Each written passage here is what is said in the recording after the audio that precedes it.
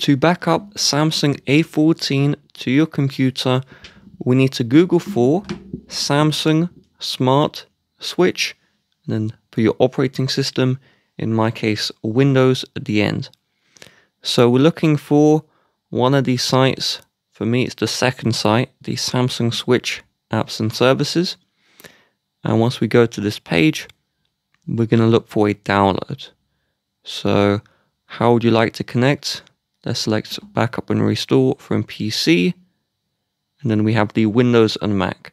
On other sites, these download locations are different, but make sure you go to samsung.com's website. So we'll just choose our operating system, and then we'll make sure that the software is downloaded, and then set it up.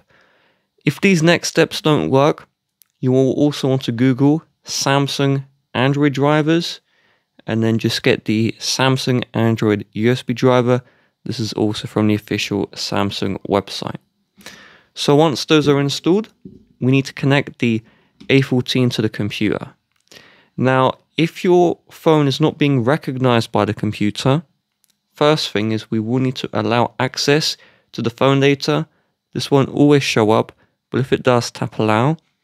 And the second thing is we need to swipe down from the top once and then just clear all of your notifications. And so if we go back into this one, we see the USB. It may just say USB for charging. Tap on this and then tap tap for other USB options. And so sometimes it will set use USB for charging phone only. You want to set use USB for transferring files slash Android Auto. And if these still don't work, you may need to use a charging cable that actually supports data transfer, and so those cables are more expensive. Now we will open the Smart Switch application, and this time it should hopefully work. So it says permissions needed. So on the phone, we'll just scroll down and tap the continue.